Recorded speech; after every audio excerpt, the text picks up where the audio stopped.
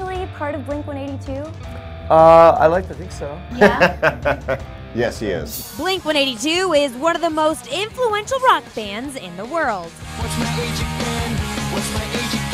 But when conflicting stories came out about whether former member Tom DeLonge quit the band, fans weren't sure what the future held.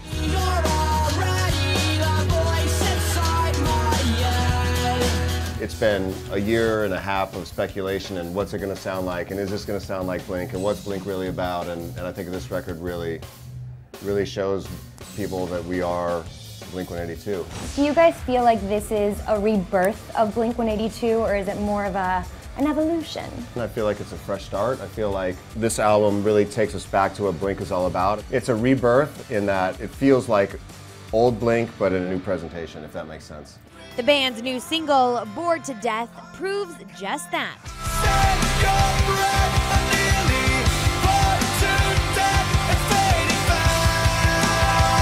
From my point of view, it was sort of a response to Mark's call in the first verse of traversing a relationship and kind of navigating through uh, Uh, when things get real murky.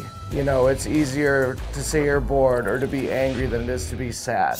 Blink is gearing up for a new tour, and the band's seventh studio album, California, is out July 1st. I feel like it might, if you had to compare two of our albums, it's kind of like Enema, The State meets the Untitled album. But it has a lot of the same tempos as I guess Dude Ranch does. There's a ballad though, right? There is. There is a ballad. It's called Home is Such a Lonely Place, which is one of my favorite lyrics on the record as well, but it just brings a very lonely feeling. What other lyrics can you tease? I want to see some naked dudes, that's why I built this pool. That's, that's, by the way, that's the entire lyric for a whole song. It's a good reason to build a I get mm-hmm. choked up every time I think about it.